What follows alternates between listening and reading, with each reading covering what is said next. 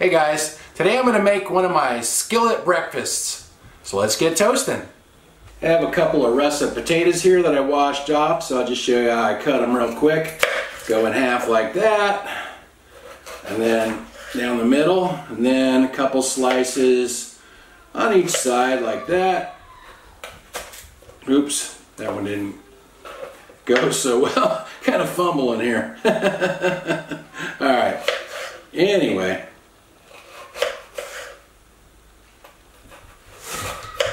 Alright, there we go. And I'll do this one. Just do the rest of them just like that and we'll get them into the pan. Those taters were pretty big, so I cut them in half lengthwise too. I'm just going to put a little bit of oil on them. This is avocado oil, but you would use any kind of oil that you like or you have. And usually I use the Johnny seasoned pepper, but I think I'll try this barbecue rub that I have Hot Rub by the J. Christopher Company. I use this on pork and chicken in my last couple of videos. This has sumac, turbinado sugar, paprika, onion, cayenne pepper, garlic, crushed red pepper, kosher sea salt, mustard, and spices in it. So we'll try a little bit of that on these taters just to change it up a bit. This kind of make them a little spicy with the cayenne pepper and the crushed red pepper in there.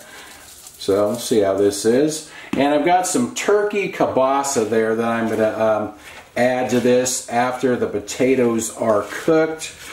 So that is already cooked. So I just cut it up into pieces and add it to the potatoes once they're cooked. And I've also got some eggs there, so I'll crack a couple of eggs on top as well. So these look pretty good. I'm just going to go ahead and get these cooking in my toaster oven now. I set my oven to bake at 450 degrees Fahrenheit and I'll cut up a little bit of that sausage while these are cooking. Like I said, this sausage is already cooked, this turkey kielbasa, so it just has to warm up. So I think I can probably add it the same time that I add the eggs because it just has to heat up a little bit. So I'll cut it like in fairly thin pieces so it so it uh, heats up pretty quickly. My potatoes were in the oven for half an hour and they look good. So now, let's see if we can crack a couple of eggs on top here.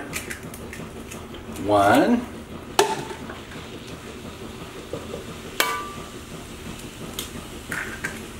Two. And I'll just put the sausage on top here.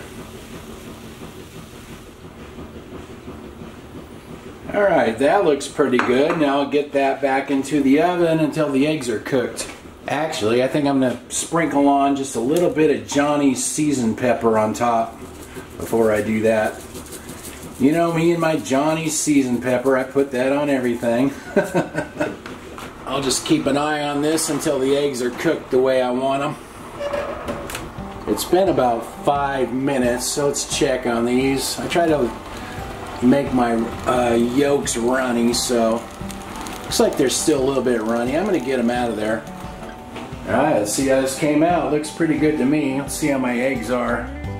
Oh yeah, that yolk's runny. That looks pretty good. And yeah, I think they're about right. Grab a little bit of everything here and try that out.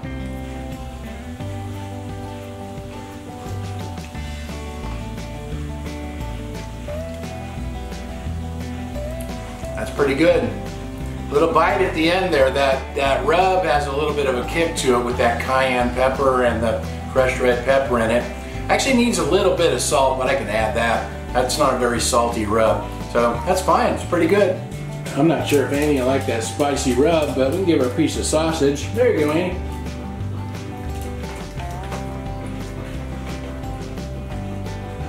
So I cooked the potatoes for about 30 minutes. And then once I added the eggs and sausage, those took about five more minutes, so about 35 minutes total. Anyway, I'll write everything in the description like usual. Thanks for watching. See you guys next time.